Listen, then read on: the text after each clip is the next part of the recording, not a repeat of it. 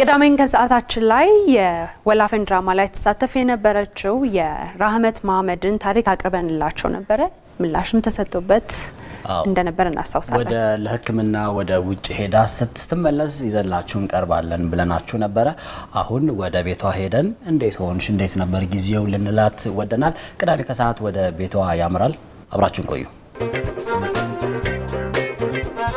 ቀደም ሲል ከስቱዲዮ እንደነገርናችሁ ቅዳሜ ከሰዓት ከስቱዲዮ ወጣ ብሎ ወደ ረሃመት ቤት እየሄድን ነው ያለ ነው። እንግዲህ ከሰባት ሳምንት በፊት ቅዳሜ ከሰዓት ላይ ተገኝታ ረሃመት ጋር ቆይታ አድርገን ነበረ። ለማስታወስ ያክል ምን አመማት፣ ምን ነበር የተከሰተው የሚለውን ለትንሽ እናሳያችሁና ተመልሰን ስንገናኝ ወደ ቤቷ እናመራለን። አብራችሁን ቆዩ።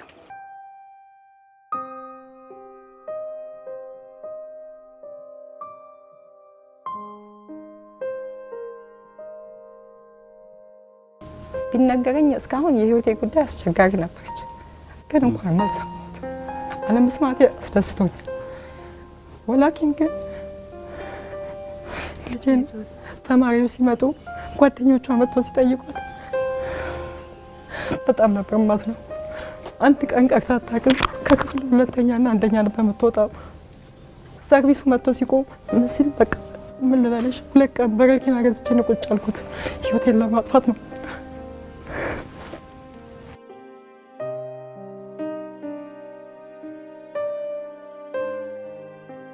በእሷ እዚህ ስትገባ ያልፍልኛል ነበር ያልኩት። ያልፍብኛል ሳይሆን ያልፍልኛል ነበር፣ ግን ሳልፍልኝ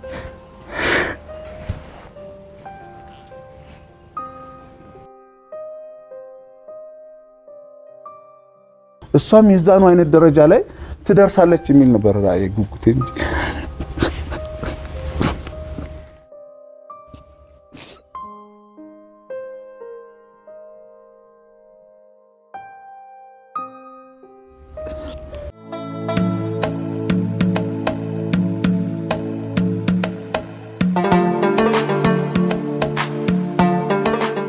አሁን የራህመት መኖሪያ ቤት ደርሰናል። ወደ ውስጥ ገብተን ደግሞ ጤናዋ እንዴት ሆነ፣ የተደረገው ሕክምና ምንድን ነው የሚል ልንጠይቅ የመጣ ነው። ቤታቸው ደርሰናል። አብራችሁን ቆዩና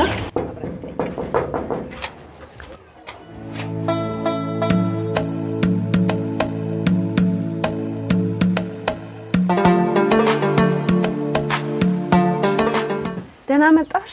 ተሻለሽ? ደህና ነሽ አሁን? ውይ በጣም ደስ ይላል። እሺ እንዴት ነሽ? ደህና ነሽ አይደለ? በጣም ደስ ይላል። እንኳን ደስ ያላችሁ። በጣም ደስ ብሎናል። እንደው በቅዳሜን ከሰዓትም በተመልካቾቻችንም ይህንን እርዳታ ባደረጉትም በሼህ መሀመድ ሁሴን አሊ አላሙዲን ስም እኛም በጣም ደስ ብሎናል። እንኳን ደስ ያላችሁ። እንኳን አብሮ ደስ ያለን። ይሄ የእኛ ደስታ ብቻ አይደለም፣ የመላው ኢትዮጵያውያን ደስታ ነው። ሁላችንንም መላው ኢትዮጵያንን በሙሉ እንኳን ደስ ያላችሁ ብዬ ነው የምለው። ልጅቷ የኔ ልጅ ብቻ ሳትሆን የመላው ኢትዮጵያ ልጅ ሆናለች። ሁሉም ሰው እንባችንን አብሶልናል።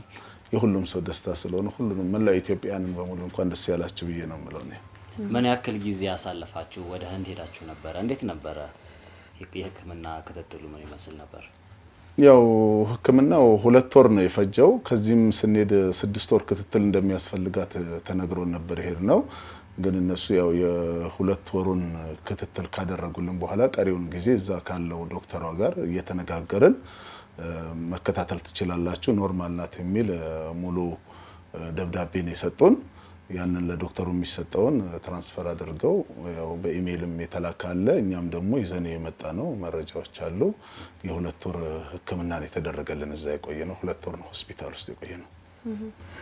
እንደው እናትም አባትም ያ ጊዜ በእንባ በሀዘን ነበር ሁላችንም ስናይ የነበረውና አሁን እንዴት ምን ተሰማሽ አንቺ እንደ እናት ቤት ተሽሏት ደህና ስትመጣ ምን ተሰማሽ? መጠየቅ መናገርም አልችል። በጣም ደስታ ተሰምቶኛል። አልሐምዱሊላህ እኔ ደስ እንዳለኝ የኢትዮጵያ ሕዝብ ሁሉ ደስ ይበለው። ከዛ በኋላ ደግሞ ሻለሙዲን ከእድሜ እድሜ ይስጠው፣ ከጤና ጤና ይስጠው። የምድር ቀላለው የጀነትን አላህ ይወፍቀው ላለው በተረፈው የቤስ ጠቅላላ ኢትዮጵያዊ እንዳለ አላህ ይስጥልኝ። ውለታቸውን አላህ ይክፈላቸው። ዛሬን የተወለድኩት እኔ ገና ዛሬ ተወልጃለሁ። እንግዲህ ሞት ምን እንደሆነ አላውቅም። አላህ እስካለው ድረስ ጤነኛ ናት ተብሎ መታለች። በጣም ተደስቻለሁ። ለውጥ አለው ለውጥ በጣም አለው። ለውጥ አለው። እብጠቱ ግን ያው ትንሽ ይቆያል ብለዋል። በመድኃኒቱ ነው የሚያሳብጠው ብለዋል። እሱም ደግሞ በሂደት የሚታይ ነው። አላህ ካለ ትድናለች እላለሁ። አሜን አሜን። ም- ምንድን ነው የተሰራላት ነገር? ምን ያክል አስቸጋሪ ነበረ ወይ? እንዴት ነው ያሳለፍከው? አንተ ነበር ያው እኔ ስለሆንኩ ያሳለፍኩት ይሄ እንደምትመለከቱት ያው ህንድ ውስጥ ከሚገኙት ከፍተኛው ሆስፒታል ፎርቲስ ሆስፒታል የሚባል ነው። ያው እንደምትመለከቱት እንግዲህ እንኳን ሆስፒታል ውስጥ ገብታ አይደለም ገና ከበሩ ላይ በሽተኛ ሲፈወስ ነው የምታየው። ልክ ከፍተኛ ሆስፒታል ነው። ብዙ ሕክምና የሚሰራበት ሆስፒታል ነው። የመላው ዓለም ህዝብ በሙሉ የሚታከምበት ነው። ይሄ ድሃ ሰዎች የሚታከሙበት አይደለም። ከአፍሪካም ከአረብ ሀገርም በቃ ከጀርመን ከአሜሪካ አይመጣም እንጂ ከሁሉም ሀገር ባለሀብቱ ጠቅላላ መጥቶ የሚታከምበት ሆስፒታል ነው። በእውነቱ እኔ ይሄ ነው ብዬ ለመናገር ይህን ሁሉ ለሰራልኝ ፈጣሪ መቼም አልሐምዱሊላህ ረቢል ዓለሚን በዋናነት እንደው ፈጣሪ ምድር ሰማይ የዘረጋ ፈጣሪ አልሐምዱሊላህ ረቢል ዓለሚን ነው የምለው። ምክንያቱም በእኔ አቅም እዛ ቦታ ላይ ሄዶ ማሳከም ይቅርና ደጃፉም ላይ መርገጥ አልችልም ነበር። የኢትዮጵያን ህዝብ ክርስቲያኑም ጸሎቱ፣ የሙስሊሙም ዱዓው፣ አዛውንቱ ወጣቱ ሳይቀር እናት አባት ሳይቀር ሁሉም ሰው ነው አዝኖ አልቅሶ በእውነቱ እንባችንን ያበሰልን። በገንዘቡ ብቻ አይደለም የሚረዳን፣ በመላው ዓለም የሚገኝ ኢትዮጵያዊ አሁን ኢራቅ ውስጥ ኢትዮጵያውያን አለ ለማለት እኮ ይቸግራል። ከኢራቅ ሁሉ ይደውሉልን ነበር እና በመላው ዓለም ኢቢኤስ ተደራሽነቱንም ያሳየበትም ሁኔታ ነው ያለው። የኢቢኤስን ባለቤትም ቢሆን እናቶ አማንም ይሁን እንደዚሁ የወላፈን ክሩ ተዋንያኖች ጠቅላላ ያደረጉልን አስተዋጽኦ ይህ ነው ብዬ ለመናገር ለእኔ ቃላት ያንሰኛል። እኔ በምን አይነት ሁኔታ እንደምገልጸው ይቸግረኛል። የሁሉንም አርቲስቶች አሁን እነኚህ direct የገቡ አርቲስቶች ናቸው። indirect ደግሞ እሷን ለመርዳት አሁን እንደ አርቲስት ሰለሞን ቦጋለ አይነቱ ደግሞ ስር ለስር ከፍተኛ ጥረት አድርጎልን ነበር። ሻህ አላሙዲ በመሀል ከመግባታቸው በፊት አየር መንገድን ሄዶ አነጋግሮልን የሁለት ሰዎች የነጻ ትኬት አስፈቅዶልን ነበር።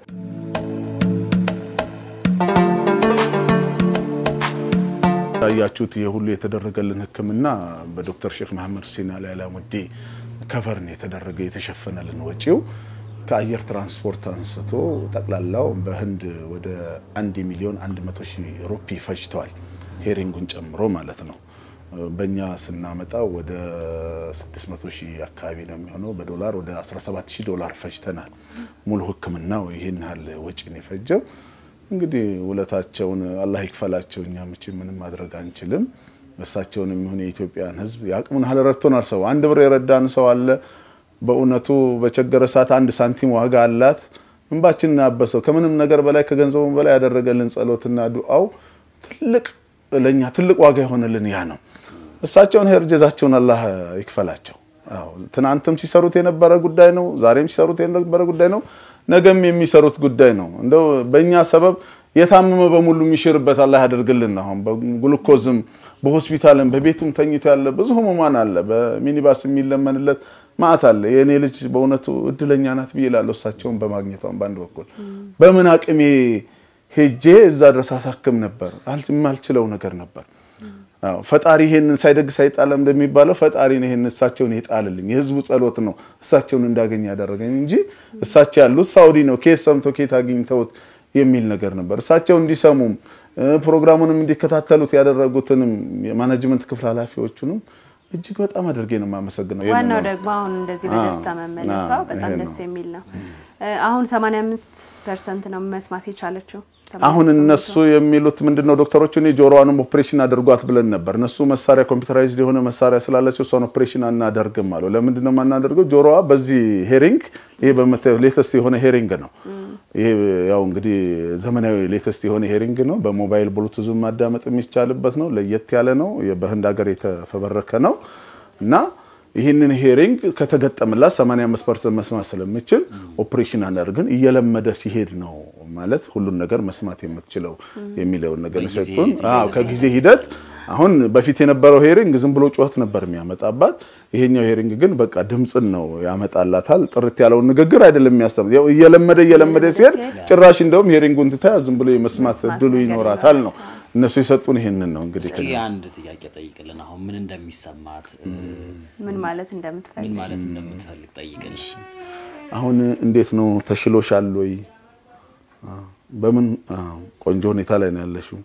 ያምሻል ወይ? እንዴት ነው? አያምሽም?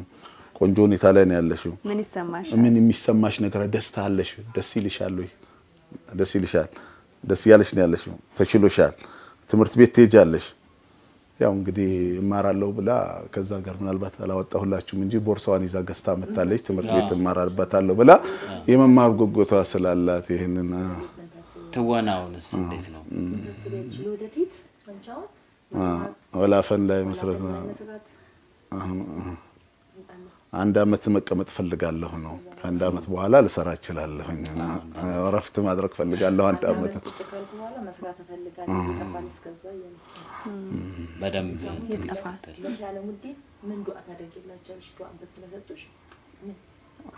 አመሰግናለሁ። ያው ለሀብታሙ ለሻለው ከዛስ?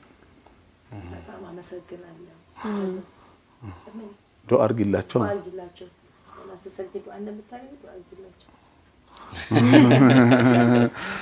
ተረ አላህ ወደ አላህ ነው። አልሐምዱሊላህ አትፍሪ፣ አይዞሽ። ያው እን- እንዴት ነበረ እንትኑ የ- የ- ወደ እሷ እስኪ እንምጣ። አመሰግናለሁ። ተሸክም ዱዓ አድርጊ። በቃ እሺ። እንግዲህ ለሕክምና እነሱ ውጭ በነበሩበት ጊዜ እዚህ ነበርሽ እና እንዴት ነበረ እንትን የምትይው ሀሳቡ እንዴት ያደረግሽ ነበረ?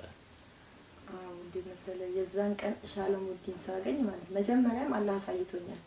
ቁጭ ብዬ ስሰራ እንዱ ይህን ሰውዬ ብታገኝ አለችኝ። ያገኘው እሳቸውማ ከየት አገኛቸዋለሁ? እኔ በምን ከየት አገኛቸዋለሁ? አንቺ ደግሞ የህልም ወሬ አታወሪ ነበር ያልኳት። ግን ታይቷታል ሴትዮ ማለት ነው። ሲደወልልኝ እሱ ደግሞ መጥቶ እንዲህ ሲለኝ ማመን ነው ያቃተኝ። እስከ- ያልቅም አላመንኩም። ግን ካለቀ በኋላ ልክ ቦሌ ከሸኘኋት በኋላ ወላሂ የሌሊቱን እንዴት እንደተኛው ቀኑን እንዴት በቃ አላውቅም። የሚገባው ሰው አይቶኝ ይወጣል እንጂ እኔ እንቅልፍ ነው። በጣም ደስታ ከደስታ ውጪ ሌሊት ሰባት ሰዓት ስምንት ሰባት ስምንት የተነስቼ የማያት ሴትዮ ትቻታለሁ። ለምን የኔ ብቻ አይደለችም፣ ሁሉ እንደሚወዳት አየሁ። በፊት የኔ ብቻ ነበር ይመስለኝ ሀታ የጎረቤት ሁሉ የሚወዳት አይመስለኝም ነበር። ግን አሁን ሁሉ ኢትዮጵያዊ ሁሉ እናንተን ሳይ ሁሉንም ሳይ መቶ ለመቶ በቃ እንዴ ልበልሽ እኔ ወለድኳት እንጂ ልጅቷ የኔ አይደለች። አመንችም አላመንች ወላሂ ልሻለሁ የኔ ብቻ አይደለችም። አንድ ልጅ ልጅ ምን ብላ ደወለችን ይመስልሽ ከሐዋሳ ራህመት እናት ነሽ አለች። አዎ እንዴት ናት ራህመት? ሄዳለች። በጣም ያጸልይላታል። እናቴ ግን ለእሷ ብላ ገዳም ገብታለች አለች። እኔ እሷን ልጅ እሷን እናት ምን ብዬ እንደማመሰግናት ሁሉ አይገባኝም። ኢትዮጵያ ሁሉ ለእሷ ውሎላታል። ግን እቺ ሰው አታውቃትም። በቲቪ ነው ያየቻት። ለእሷ ብላ ገዳም ገብታለች ብላኛለች። እሷ ህፃን ልጅ ናት። ቢያንስ በስልክ ሰማት የስምንት ዓመት ወይ አስር ዓመት ልጅ ብትሆን ነው። ከሐዋሳ ነው ያለችኝ መሰለኝ። ብቻ እናቴ ገዳም ገብታልኛል። እንግዲህ አሁን ደግሞ በዓል አለ። እንኳን አደረሳችሁ። በጤና ደግሞ ተመልሳችሁ አንድ ላይ ማክበራችሁም ደግሞ የሚፈጥረው ስሜት አለ። ምን አይነት ስሜት አለው በዓሉን እንደዚህ ማክበር? ይሄ ለእኛ እንደገና እንደ አዲስ እንደመወለድ ነው ለእኔ የምቆጥረው። ቢስሚላህ መቼም ለእኔ እንደ አዲስ እንደመወለድ ነው የምቆጥረው። ምክንያቱም ከሀዘን ነው የወጣሁት። አሁን ይሄ ቤት ሀዘን ቤት ነበር የሚሆነው። አሁን ልዩ በደስታ እያሳለፍን ያለን። አሁን ዛሬ ምናልባት ቀዝቀዝ ብሎ እናንተ በቀዝቀዘ ሰዓት መጣችሁ እንጂ እንኳን ቤቱ እዚህም ተከራይ የነበሩትም እንደ ከራዮች ነበሩን። እነሱም ሁሉ ለቀው ያው እንግዳ ብዙ ስላለብን መላው ኢትዮጵያን የተነቃነቀላት አሁን ለራህመት የሚያውቃትም የማያውቃትም ነው እንኳን ደህና መጣች ያለ መጥተው እየጠየቀ ነው እየሄደ ያለው። ደስታው የሁሉ ሰው ደስታ ሆኗል። እኛም አውቀ ነው አይደለም። አንዳንዴ ከአንጀት ካለቀሱ እንባ አይገድም ነው። ያው እንባችን ታብሷል። ፈጣሪያችን አብሷል። ለሁሉም ሰው ለእኛ እንደደረሰ ፈጣሪ ድረስ ነው የምንለው። በእውነቱ እንደኛ የተቸገሩ አሁን በሚኒባስ ላይ የሚለመንላቸው ብዙ ልጆች አሉ። ያው አቅም አጥተው ማለት ነው። ለነዛ ሁሉ ድረስላቸው። በዓልን በተመለከተ ላልከኝ አረፋ በእኛም በሙስሊም ህብረተሰብ በጣም የተከበረ ትልቅ በዓል ነው። እንኳን ሁላችሁንም በሰላም ለኢድ አል አረፋ አደረሳችሁ ነው የምለው። በመቀጠልም ለሀጅ የሄዱ ወንድሞቻችን ደግሞ አሉ። ብዙ ገንዘብ አውጥተው የሄዱ ወንድሞቻችን አሉ። በሰላም ሀጃቸውን ሰርተው ይመለሱ ነው ብዬ የምለው። አረፋን በተመለከተ ከቤተሰብ የተራራቀም ሰው የሚገናኝበት ሰዓት ነው። አደጋ ሊበዛ ይችላል፣ የመኪና አደጋ በዚህ ሰዓት ላይ። ሁሉም በሰላም ደግሞ ከቤተሰቡ ጋር ተገናኝቶ በዓሉን በሰላም አሳልፎ ይመለስ ነው ብዬ የምለው። በዓልን በተመለከተ እሳቸው ለሼህ መሐመድ ሁሴን አሊ አላሙዲ የማስተላልፈው መልእክት ህርጅዛውትን አላህ ይክፈሎት ነው። ከኛ ምንም አያገኙ አላህ ይክፈሎት ነው። በዱንያም በአኪራም ሀያቶትን አላህ ያቀይሎት። የሚሰጡትን ሰደቃ አሁን ማያቋርጡ ለድሃ መስጠቶትን ሰደቃ በላይ መልስሎታል፣ ራህመትን ያቀርብሎታል ነው።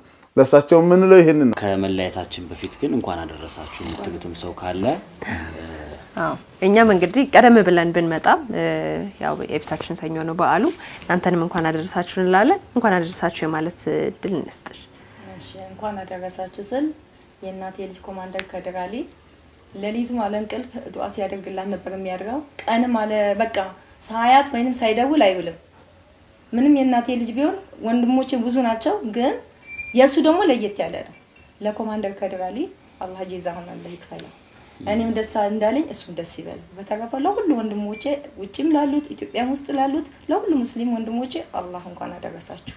ለክርስቲያኑም ደግሞ የ16 ጾም በሰላም አላህ አሜን። እናመሰግናለን። መልካሙ ሁሉ እንመኝላችኋለን። እሺ እኛም ላደረጋችሁልን አስተዋጽኦ ኢቢኤስን ከምንም ነገር በላይ አየር ጊዜውን ተሻምቶ ስንት ሚሊዮን ብር የሚያገኙበት ማስታወቂያ ቢሰሩበት ስንት ሚሊዮን ብር ባገኘበት ነው። አዎ፣ ይህንን ጊዜውን መስዋዕት አድርጎ ልጃችንን እንድትድል ላደረገልን ኢቢኤስ ቴሌቪዥን ጣቢያንም እጅግ በጣም አድርገን እናመሰግናለን። አርቲስቶቹም ቢሆን የዋሉት ውለታ በዚህ መቋረጥ የለበትም። ለራህመት ብቻ አይደለም፣ ለሁሉም ሰው መድረስ አለባቸው። ሁሉም ተባብረው ይድረሱ። እኔ በእውነቱ የራህመትን ነገር እንኳን አደረሳችሁ ብዬ እላለሁ። በመላ ዓለም የምትገኙ በአሜሪካም በመላው ዓለም ነው እኮ የተነቃነቀው። ወላሂ ያ ሁሉ ሰው አላህ ውለታውን አላህ ይክፈለው። ለሙስሊሞች እንኳን አደረሳችሁ ነው ብዬ የምለው። ሌላው ለሊት ስምንት ሰዓት መጥተው እዚህ ቤት አንኳኩተው የጠየቁን ሰዎች አሉ። እንደ ኡመር ዘመን ማለት ነው። እንግዲህ ሳላያት ጾሜን አልፈታም ብላ አንድ ልጅ ከቦሌ ቡልቡላ መጥታ ለሊት ስምንት ሰዓት መጥታ አይታት የለ زكاة الفطر ሳንቲም ለሷ ነው የሚገባው ብላ መጥታ አልቅሳ እዚህ የወጣች ልጅ አለች። ስሟ ጠፋኝ። መዲና ሆና ብቻ ስላላያዝኩት ነው እንጂ እንዲህም አይነት ሰዎች አሉ የሚል ይህን ያህል ተነቃንቆ የነበረ ሰው በሙሉ ኸይር ጀዛውን አላህ ይክፈለው። እናንተንም ምንዳችሁን ከፈጣሪያችሁ አገኙት። ትልቅ ስራን የሰራችሁት ለእናንተ ትንሽ ሊመስላችሁ ይችላል። የአንድ ሰው ህይወትን የገዛችሁት ያዳናት አላህም ቢሆንም ሰበቡን ፈጥራችሁልናል። ውለታችሁን ከአላህ አገኙት። ምንዳችሁን አላህ ይክፈላችሁ ሁላችሁ። እናመሰግናለን። እጅግ አድርገን እናመሰግናለን። እንግዲህ ቡናውን እንጠጣ። እሺ፣ እሺ፣ እሺ።